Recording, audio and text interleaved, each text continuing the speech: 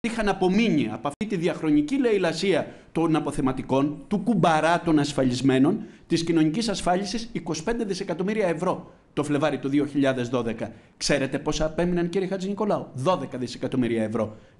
Γιατί με το PSI περικόπηκαν, αρπάχτηκαν, κλέφτηκαν στην κυρολεξία 13 δισεκατομμύρια ευρώ που ήταν χρήματα των Έχουμε, έχουμε δύο-τρεις ανησυχίες σαν εσάς. Το είπατε πριν δεν είναι ότι χάθηκαν αυτοί οι πόροι. Δεν είναι ότι με πολιτικές μνημονίου μεγάλωσαν. Εσείς όμως δεν έχετε δικαίωμα να έχετε ανησυχία χωρίς λύση. Εγώ έχω έχουμε δικαίωμα. Λύση, μα θα σας γιατί εσείς είστε υποψήφιοι να υπάρχει κυβερνήσετε. Περίπτωση, υπάρχει περίπτωση να μην έχουμε λύση, κύριε Χατζη Νικολάου, και να διεκδικούμε, Αν υπάρχει περίπτωση. Και να διεκδικούμε έχουμε... τη διακυβέρνηση της χώρας. Τι λέτε τώρα, κύριε Στρατούλη, μην τα λέτε αυτά στην Ελλάδα. Έχουμε ζήσει δεκάδες κυβερνήσεις που προεκλογικά έλεγαν ότι είχαν λύσεις και μετεκλογικά αποδείχθηκε ότι είχαν την τύφλα τους. Σε αυτό έχετε δίκιο. Ε, λοιπόν... Πρέπει να προσέξουμε πολύ. Πρέπει ναι. να έχουμε έλεγχο και του λαού ε, και των συνδικάτων και εσάς των δημοσιογράφων να μην κάνουμε τα ίδια με τους άλλους. Όχι, σε εμάς δεν θα έχετε έλεγχο.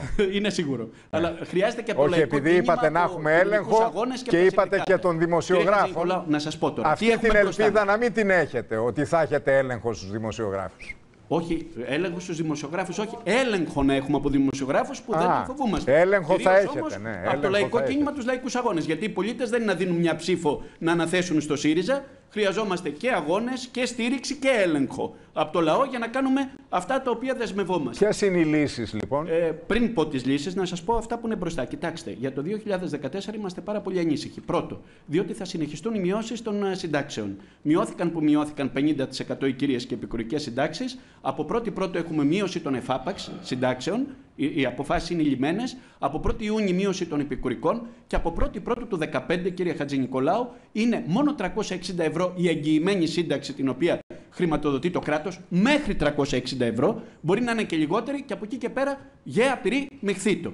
Επίσης, είμαστε ανήσυχοι γιατί η κυβέρνηση κάθεται με την Τρόικα και κουβεντιάζει αυτή τη στιγμή αυτό που είπατε, κύριε Χατζη Νικολάου. Να μειωθούν οι εργοδοτικές εισφορές, ασφαλιστικές εργο, εργοδοτικές εισφορές, κατά 3,9%. Σημαίνει 1,3 δισεκατομμύρια λιγότερα ετήσια έσοδα και ταυτόχρονα δώρο στους τραπεζίτες και στις μεγάλες επιχειρήσεις. Δεύτερο, κουβεντιάζει για το φόρο υπερτρίτων. Αγγελιώσιμα, κοινωνικοί πόροι που απέμειναν. 2 δισεκατομμύρια ετήσια απώλεια των ασφαλιστικών ταμείων. Και τέλος, κύριε Χατζη Νικολάου, ο κρατικός προπολογισμό που αρχίζουμε να κουβεντιάζουμε στην Ολομέλεια αύριο προβλέπει μείωση της δημόσιας, της κρατικής χρηματοδότησης προς την κοινωνική ασφάλιση, προς τα ασφαλιστικά ταμεία 2,3 δισεκατομμύρια ευρώ για το 2014. Γι' αυτό θα έρθουν μετά τις ευρωεκλογές, αν παραμείνει αυτή η κυβέρνηση, που εμείς λέμε και ο λαός και εμείς θα την ανατρέψουμε, θα έχουμε εκλογές και θα βγει αριστερή κυβέρνηση, θα έρθει και θα πει: Τι να κάνω, έχασα 5,5 δισεκατομμύρια από το ασφαλιστικό σύστημα. Δεν έχω να δώσω κύριε συντάξει.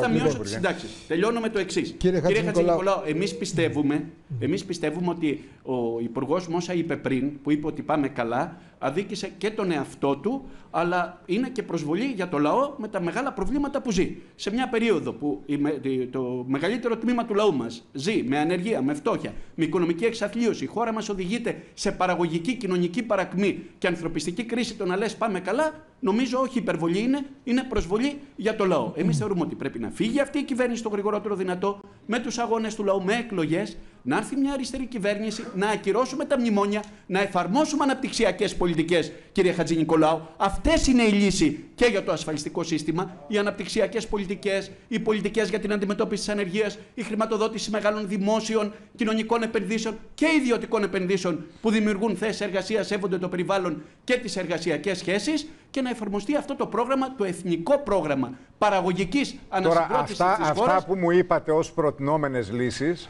θα μπορούσε να τα πει και ο κύριος Βρούτσης. Όχι, ένα όχι, λεπτό. Ε, τι είπατε τώρα. Η ανάπτυξη, ότι οι αναπτυξιακές πολιτικές θα λύσουν τα, τα θέματα του ασφαλιστικού. Μα για το θέμα του ασφαλιστικού. Είναι αυτά που είπε ο κύριος Ρομπόλης για να ενισχυθούν τα αποθεματικά της κοινωνικής ασφάλισης, είναι να ενισχυθούν με διάφορους συμπληρωματικούς δημόσιους πόρους να στηριχτούν το, το ασφαλιστικά ταμεία, να ενισχυθεί η κρατική χρηματοδότηση, είναι να καταπολεμηθεί η εισφοροδιαφυγή που είναι 35% στην Ελλάδα και η μαύρη εργασία ενώ στην Ευρώπη η εισφοροδιαφυγή είναι 1 μέχρι 5% και έχουμε κάνει συγκεκριμένες προτάσεις και στην εκπομπή σας το πώς μπορεί να αντιμετωπιστεί πριν από λίγη ώρα. Είναι μια σειρά τέτοιοι τρόποι με τους οποίους μπορεί να ενισχυθούν τα έσοδα της κοινωνικής ασφάλισης. Δεν μπορεί να επιβιώσει το ασφαλιστικό, κύριε Χατζη Νικολάου, με ηλικιώδη ανεργία, με ελαστικές μορφές απασχόλησης και με μείωση μισθών.